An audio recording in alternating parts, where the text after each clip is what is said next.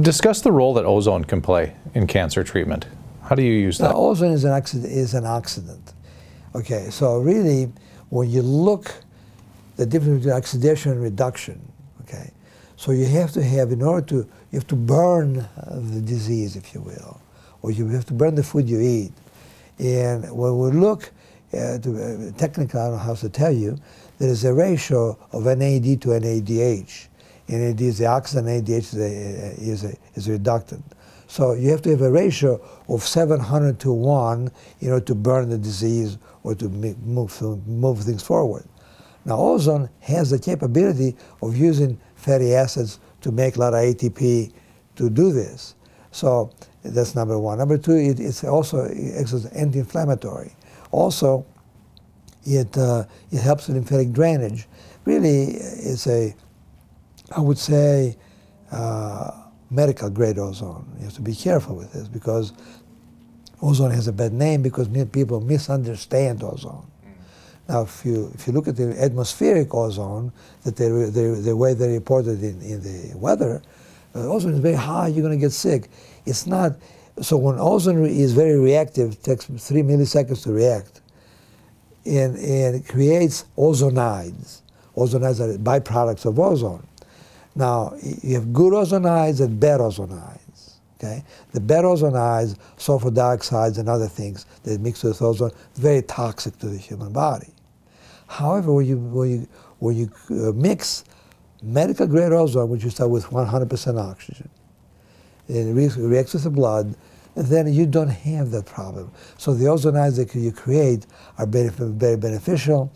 Uh, you create um, uh, special kind of uh, ozonides that support the immune system, kill the infections, because infection is a huge issue.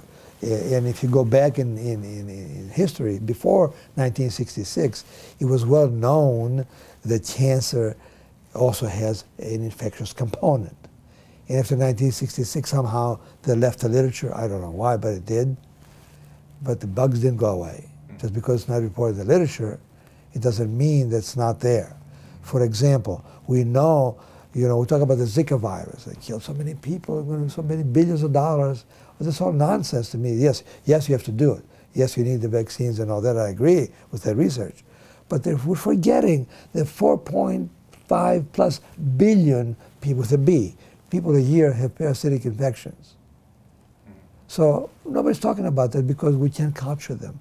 They're very difficult to culture, the parasites. And they're not in the digestive tract. Most of them are outside of the digestive tract. The other funny thing about the, the, the, the infections, the parasitic infections, and don't ask, I don't know why, parasites have evolved the same, uh, fungi and parasites and humans have evolved in the same level of evolution right now, okay? okay. And parasites follow civilization. It doesn't, doesn't make sense to me. You would think in, in, where we're sitting right here in LA is probably much cleaner than the, the jungles of Central America? I don't think so. That's not, that's what we know. So uh, can, we, uh, can we identify the parasites with traditional means? No.